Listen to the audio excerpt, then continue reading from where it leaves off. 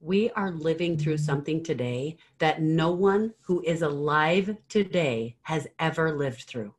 We are living through a global pandemic, and even the pandemics that happened in past years in other centuries, they did not have the internet so that people were aware of all the fear that was happening in the world and the troubles and the problems and all the things that were going on. You guys, the world is changing every single day. Our lives change every day. We have to kind of listen to the news or or hear updates consistently about what is changing, how things are different, what travel is like, can we even have events? It is upended. So how can you stay optimistic about your business during COVID-19? It can be really hard to do but there are two things I want you to think about that will absolutely keep your mind in the right place and keep you going the right direction with your business. Number one, I want you to think of the hard things that you have been through.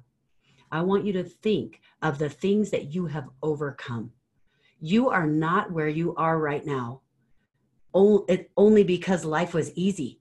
You got where you are right now because of the things that you had to overcome to get to this place, even in your business. Those of you who have had success in your business, I don't care if you're seeing success right now or not.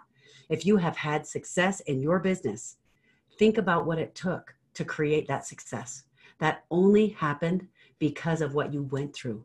You had to show some grit. You had to bring that forward. And that was something that enabled you to get to the place where you are.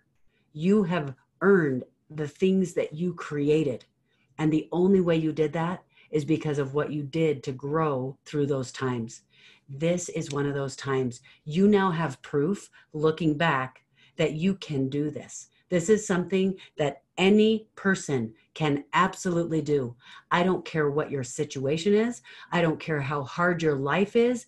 And you guys, I have worked with some people who are in very, very traumatic situations, things that they can't even control because it is things that are perpetrated on them.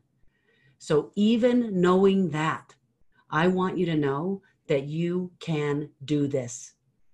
This can actually be exciting. It can be fun because you can think of things and create things that you never would have thought of if you weren't forced into the situation that we are in right now. And number two, I want you to look at what other people have achieved during COVID 19. There are so many people who are seeing some crazy successes during COVID 19 and they're seeing it in their business.